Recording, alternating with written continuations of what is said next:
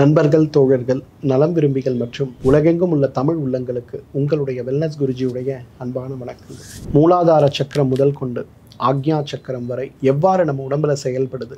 அது செயல்படுவதால் நமக்கு கிடைக்கக்கூடிய நல்ல விஷயங்கள் என்ன? அந்த சக்கரங்களில் இருக்கக்கூடிய சக்தி ஓட்டங்கள் பாதிக்கப்படும் போது நமக்கு ஏற்படுகின்ற பலவீனங்கள் மாற்றங்கள் என்னங்கிறத பற்றி நம்ம பார்த்தோம். அந்த வகையில் இன்றைக்கு ஏழாவது சக்கரம் தலைமை சக்கரமாக இருக்கக்கூடிய சஹஸ்ரஹாரம்னு சொல்லக்கூடிய சக்கரத்தை பற்றி இன்றைக்கு நம்ம பார்க்க போகிறோம் இன்னைக்கு பொதுவாக உடல் ரீதியான சக்கரங்களாக இந்த ஆறு சக்கரங்கள் இருந்தாலும் இந்த ஏழாவது சக்கரம் அப்படிங்கிறது மிகப்பெரிய அளவு நம்முடைய ஆரோக்கியத்தையும் ஆயுளையும் சாதாரண மனிதனிலிருந்து நாம் விலகி இருக்கக்கூடிய தெய்வத்தன்மையையும் நமக்கு கொடுக்கக்கூடிய சக்கரம்னு சொல்லலாம். யாரெல்லாம் எனக்கு ஆரோக்கியம் மட்டும் போதும்னு நினைக்கிறோமோ நம்ம அந்த ஆறு சக்கரங்கள் போதும். ஆரோக்கியத்தை விட ஆன்மீகத்தை விட நாமே இறைவனாக வேண்டும் அப்படிங்கிற முயற்சியில் இருப்பவர்களுக்கு இந்த ஏழாவது சக்கரம் ரொம்ப முக்கியம்னு சொல்லப்பட்டாலும் கூட இன்றைக்கு நீண்ட ஆயுளோடு வாழ்ந்து கொண்டிருக்கக்கூடிய ஒவ்வொருவரும் ஒரு முயற்சியின் காரணமாகவோ அல்லது இயற்கை விதியாகவே அவர்களுடைய சக்கரம் பிரபஞ்சத்தோடு மிகப்பெரிய தொடர்பில் இருக்கக்கூடிய ஒரு இயற்கை நிகழ்வாக இருக்கக்கூடியவர்கள் மட்டும்தான் இந்த சக்கரத்துடைய முழுமையான பலனை பெற முடியும் அப்படிங்கிறது ஒரு நியதி. பொதுவாக இன்றைக்கு நம்ம பார்க்கக்கூடிய சித்தர்கள் முதல் கொண்டு இன்றைக்கு நாம் பார்க்கக்கூடிய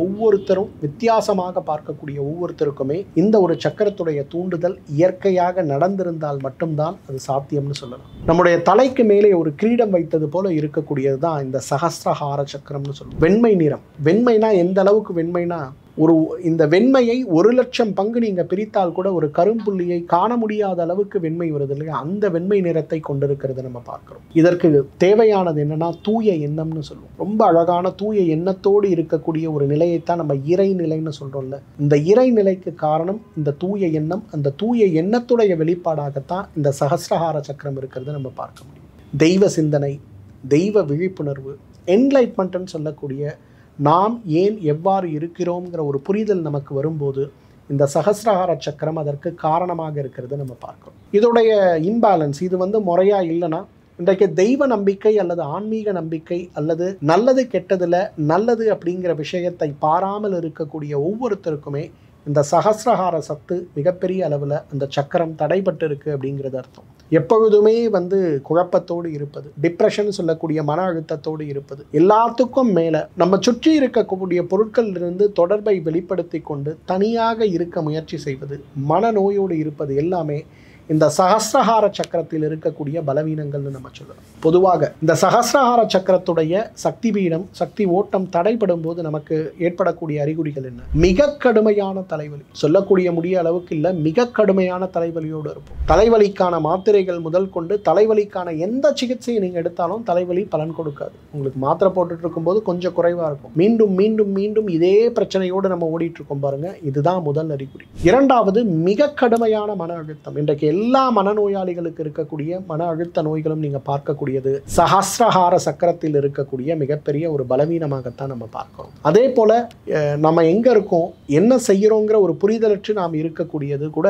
அதே போல் பிரச்சனைக்கான தீர்வு நம்ம கண் முன்னால் இருந்தாலும் கூட அந்த தீர்வை தேடி சென்று அதை முயற்சி செய்து அதற்கான தீர்வை தேடிக்கொள்ளாமல் அப்படியே ஒரு மரம் போல அமர்ந்திருப்பது மரம் போல இருப்பது என்ன சொன்னாலுமே கேட்காமல் தனியான ஒரு உலகத்தில் கற்பனையோடு இருக்கக்கூடிய நிலை ஃபீலிங் லாஸ்ட் லாஸ்ட்னு சொல்லுவோம் பாருங்க. அதுதான் வந்து சகசிரார சக்கரம். நம்ம உடம்புல முழுமையான ஒரு திறனற்று இருக்கிறது அப்படின்னு சொல்லுவதற்கான முதல் அறிகுறின்னு சொல்லுது இன்றைக்கு போதை பழக்கத்தில் இருக்கக்கூடிய ஒவ்வொருவருமே இன்றைக்கு சகசிரார சக்கரத்துடைய சக்தி ஊட்டம் தடைபட்ட ஒரு நிலையில் இருக்கிறது நம்ம பார்க்கிறோம். எல்லா விதமான மனநோய்களும் மனம் சார்ந்த நோய்களுக்கு காரணமே இந்த சகசிரார சக்கரத்தில் இருக்கக்கூடிய மாற்றம் சொல்லலாம். அதே போல ஸ்பிரிச்சுவல் பிலீஃப் இல்லாமல் இருக்கிறது ஒரு ஆன்மீகத்தின் மேல் பிடிப்பில்லாமல் இருக்கக்கூடிய ஒவ்வொருவருமே தன்னலம்னு சொல்லக்கூடியதில் நூறு சதவீதம் தன்னை தவிர எதை பற்றியும் கவலைப்படாமல் இருக்கக்கூடிய ஒரு நிலை தன்னுடைய தேவைக்காக மற்ற உயிர்களை கூட கொல்ல துணிகின்ற ஒரு நிலை அப்படின்றதுல இதுதான் சஹஸ்ரஹார சக்கரம் மிகப்பெரிய அளவில் சக்தி ஓட்டம் பாதிப்புக்கு உள்ளாகி இருக்கிறது அப்படிங்கிறது சொல்றது. அதே போல மொத்த உலகமும் எனக்கு எதிராக இருக்கிறது அப்படிங்கிற ஒரு எண்ணத்தில் தன்னையும் வருத்தி கொண்டு பிறரையும் வருத்தக்கூடிய இந்த தீவிரம் ஆவாதிகள் அப்படின்னு நம்ம சொல்லக்கூடிய அந்த குரூப் எடுத்தோம்னா அவங்க எல்லாருமே சஹஸ்ரஹார சக்கரம் மிகப்பெரிய அளவில் பாதிக்கப்பட்டிருக்கக்கூடிய ஒரு நிலையில் இருக்கிறது நம்ம பார்க்கணும். அதே போல பக்கவாத நோய் கொண்டு அல்சமியர் நோய் கொண்டு இன்றைக்கு வருகின்ற எல்லா விதமான நரம்பு சார்ந்த நோய்களுக்கும் காரணம் என்ன?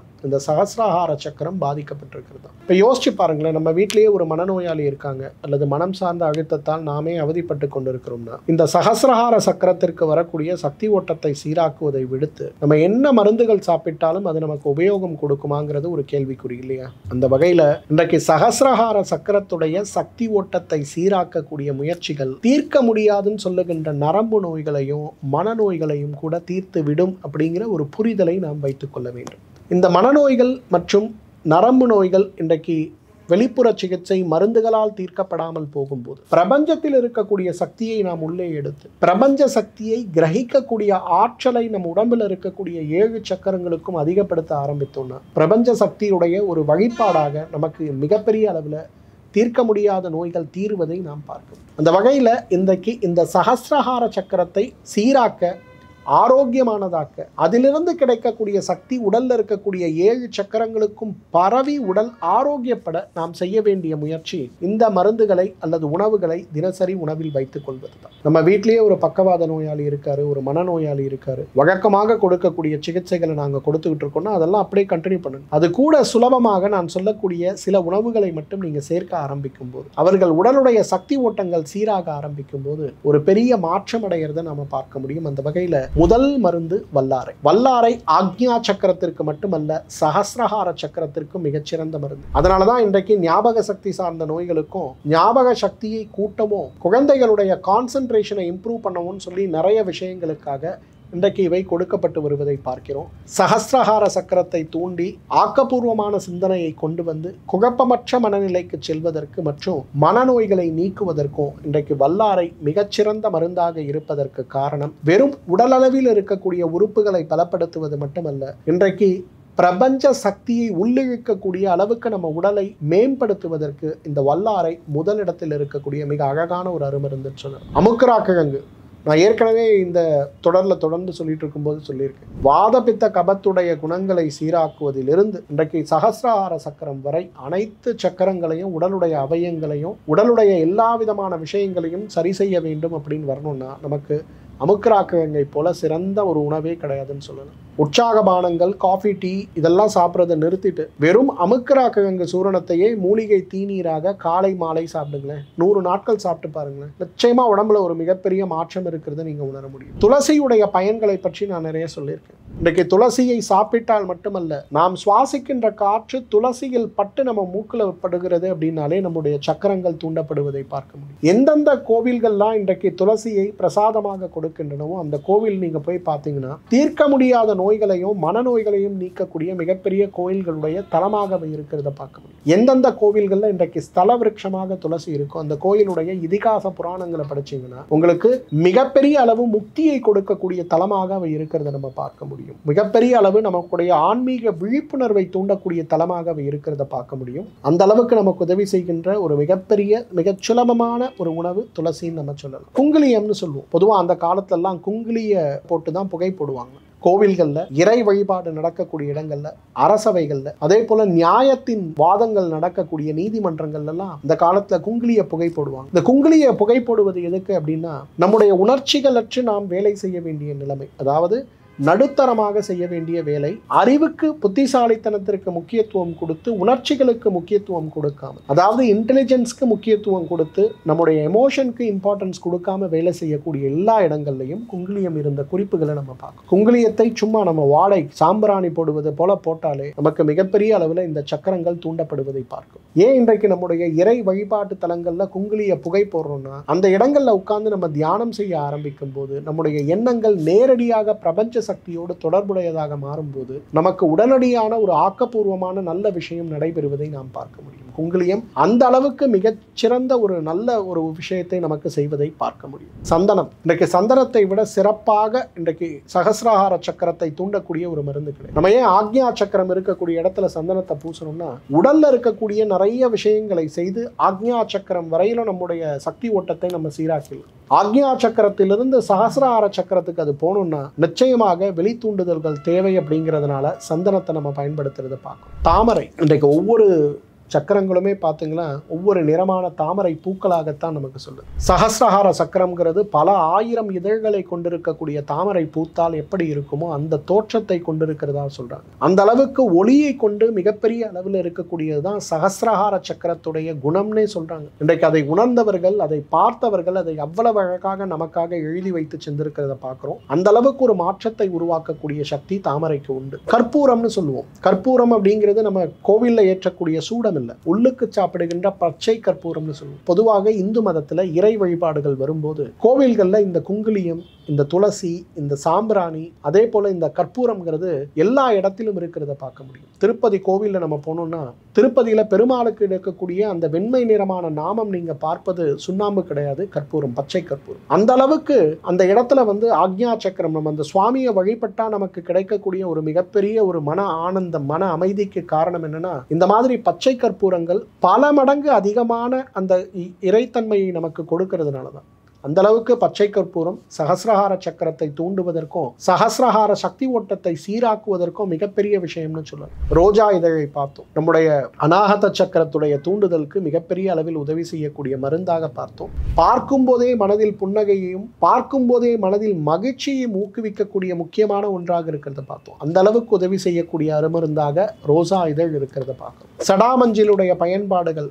விசுத்தி சக்கரம் ஆக்ஞா மற்றும் சகசிரஹாரம் இந்த மூன்று சக்கரங்கள் சக்கரங்களையும் மிகப்பெரிய அளவில் பலப்படுத்தி நம்முடைய ஆரோக்கியத்தை மேம்படுத்தக்கூடிய சக்தி சடாமஞ்சளுக்கு உண்டு. இன்றைக்கு தீர்க்க முடியாத நோய்கள்ல வலிப்பு நோய் இருக்கிறதையும் தீர்க்க முடியாத நோய்கள்ல மனநோய்கள் இருக்கிறதையும் பார்க்குறோம். கட்டுப்படுத்த முடியாத மனநோயாக இருக்கும்போது சுற்றி இருக்கக்கூடியவர்கள் நல்லவர்கள் கெட்டவர்கள் அப்பா அம்மான்னு கூட பார்க்காம அடித்து உதைத்து கலாட்டா செய்து பொருட்களை உடைத்து அந்த இடத்தையே நான்காக உடைத்து எடுக்கக்கூடிய அளவுக்கு இருக்கக்கூடிய மனநோய்கள் கூட இந்த சடாமஞ்சிலை முறையாக பயன்படுத்தும் போது குறைந்து போய் விடுவதை பார்க்க முடியும். நமக்கு ஒரு கோப உணர்ச்சி ஏற்படுத்தும் போது நாம் வெளிப்படுத்தக்கூடிய வார்த்தைகள் நம்முடைய செயல்கள் சில நேரங்களில் நமக்கு மட்டுமல்ல சுற்றி இருப்பவர்களுக்கும் மிகுந்த சிரமத்தை உருவாக்குறத பார்க்குறோம். இந்த சிரமத்தை மாற்றக்கூடிய மிக அழகான ஒரு விஷயம் எதுன்னு பார்த்தீங்கன்னா சடாமஞ்சில நம்ம சொல்லலாம். அதிமதுரம். இன்றைக்கு வாதபித்த கபத்தில் ஆரம்பித்து உடல்ல இருக்கக்கூடிய ஏழு தாதுக்கள் ஓஜஸ் அதே போல ஐந்து அவயங்கள் நூற்றி எட்டு வர்மங்கள் வரை நம்மை பலப்படுத்தி நம்மை ஆரோக்கியப்படுத்தக்கூடிய அருமருந்து எதுன்னு அதிமதுரம் தான். இன்னைக்கு இந்த மருந்துகளுடைய பெயர்கள்லாம் கேட்கும்போது நமக்கே ஆச்சரியமா இருக்கும். இதெல்லாம் நம்ம சில நேரங்களில் நம்முடைய பூஜைக்காக பயன்படுத்துவோம். சிலது நல்ல விஷயத்துக்காகவும் சிலது கெட்டது நடக்கக்கூடிய இடங்கள் விஷயங்கள்லையும். சிலது பார்த்தீங்கன்னா நமக்கே தெரியாம தினசரி சமையல்ல பயன்படுத்திட்டு இருப்போம். மஞ்சள் இஞ்சி இது துளசி இதெல்லாம். ஆனா இவையெல்லாம் உபயோகப்படுத்துவது வெறும் ஒரு காரணம். அதாவது இதில் இருக்கக்கூடிய மூலக்கூறு நம்ம உடம்பில் இருக்கக்கூடிய இந்த நோயை குணப்படுத்த உதவுகிறது அப்படிங்கிற ஒரு காரணத்துக்காக கிடையாது. பஞ்சபூத கொள்கைப்படி ஒரு மூலிகையில் இருக்கக்கூடிய அந்த பூதங்களில் நீர் நிறைய இருக்கா? நெருப்பு நிறைய இருக்கா? ஆகாயம் நிறைய இருக்கா? என்ன இருக்குன்னு பார்த்து உடலில் இருக்கக்கூடிய அந்த அவயங்களில் தோஷங்களில் தாதுக்களில் சக்கரங்களில் என்ன மாற்றங்கள் இருக்கோ அந்த மாற்றங்களை சீராக்க இவை எவ்வாறு உதவுகிறதுங்கிற அடிப்படையில் தான் நம்முடைய இயற்கை மருத்துவமோ ஆயுர்வேத மருத்துவமோ அமைந்திருக்கிறதே தவிர வெறும் அந்த கெமிக்கல் ஆல்கலாய்ட்ஸ் அந்த மாதிரி கிடையாது. ஸோ அந்த வகையில் பார்த்தோம்னா நான் சொன்ன பத்து உணவுகளுமே இன்றைக்கு இன்றைக்கு நம்முடைய தலையுடைய மேல் பகுதியில் இருக்கக்கூடிய நம்முடைய வாழ்க்கையை வெற்றியாக்கக்கூடிய வெற்றின்னு சொல்லக்கூடிய வாழ்க்கையை விட முக்தி அளிக்க இருக்கக்கூடிய அளவுக்கு நமக்கு ஞானத்தை அருளக்கூடிய அடைந்த ஞானத்தை நாம் மட்டும் வைத்துக் கொண்டால் போதாது உலகம் முழுவதும் நன்றாக இருப்பதற்கு நாம் என்ன செய்ய வேண்டும்னு நமக்கு சொல்லிக் கொடுக்கக்கூடிய அந்த ஒரு ஆற்றலை நமக்கு வழங்கக்கூடிய சகசிரஹார சக்கரத்தை ஆரோக்கியமாக வைத்துக் கொள்வதற்கும் பிரபஞ்சத்திலிருந்து கிடைக்கக்கூடிய சக்தி சகசிரஹார சக்கரம் வழியாக மூலாதார சக்கரம் வரை பரவும் போதுதான் நம்மால் ஆரோக்கியமாக இருக்க முடியும் அப்படிங்கிறதுனால அந்த சக்கரத்தை தூண்டி நம்மை ஆரோக்கியமாக வைத்துக் கொள்வதற்கும் நமக்கு உதவி செய்யக்கூடிய அழகான உணவுகளாக இருக்கிறத பார்க்கிறோம். இதை தனித்தனியாகவோ அல்லது ஒன்றாகவோ ஒரு உணவாக சாப்பிடுகின்ற ஒரு வழக்கம். யாருக்கெல்லாம் இதெல்லாம் கிடைக்கல எப்படி சாப்பிடணும்னு தெரியலன்னு நினைக்கிறீங்களோ மருத்துவமனையை தொடர்பு கொண்டீங்கன்னா அதுக்குன்னு இருக்கக்கூடிய காயகல்ப மருந்தை கொடுப்பாங்க. அந்த காயகல்ப மருந்தை தொடர்ந்து நாம் எடுக்கும்போது நம்முடைய ஆரோக்கியம் மேம்படுவது மட்டுமல்ல ஆரோக்கியமான இளமையான பொலிவான மகிழ்ச்சியான வெற்றியோட கூடிய ஒரு வாழ்க்கையை நம்மால் வாழ முடியும் அப்படிங்கிறத நம்ம புரிந்து கொள்ளணும். இந்த வீடியோவை உங்கள் நண்பர்கள் தோழர்கள் நலம் விரும்பிகள் உடன்பிறப்புகள் மற்றும் தமிழ் சமுதாயம் எங்கெல்லாம் இருக்குமோ அங்கெல்லாம் கொண்டு போய் சேர்க்க முடியுமா அப்படிங்கிறத பாருங்க. இந்த வீடியோவை உங்களோட எல்லா சோஷியல் மீடியாலையும் ஷேர் பண்ண முடியுமான்னு பாருங்கள் இந்த வீடியோ சார்ந்த கேள்விகள் மற்றும் உங்களுக்கு இருக்க சந்தேகங்களை இந்த வீடியோவோட கமெண்ட் செக்ஷனில் கேளுங்க. எப்போ எனக்கு நேரம் இருக்கோ உங்களோடு நான் பகிர்ந்து கொள்ள முயற்சி செய்கிறேன். அதற்கான பதில்களை. மீண்டும் மற்றொரு ஆரோக்கிய குறிப்போடு சந்திப்போம். அதுவரை உங்களிடமிருந்து விடைபெறுவது உங்களுடைய வெல்னஸ் குருஜி. நன்றி வணக்கம்.